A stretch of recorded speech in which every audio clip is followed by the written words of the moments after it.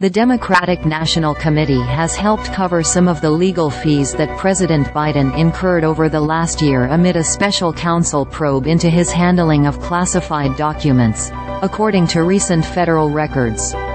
Throughout the investigation, which special counsel Robert K. Hur concluded last month without bringing charges, Biden was represented by his longtime counsel Bob Bauer and several other attorneys.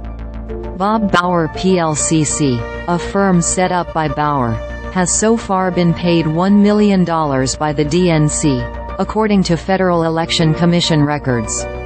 The committee has also increased its payments to Hemenway and Barnes, a firm that employs Jennifer Miller, another attorney who worked on the case for Biden.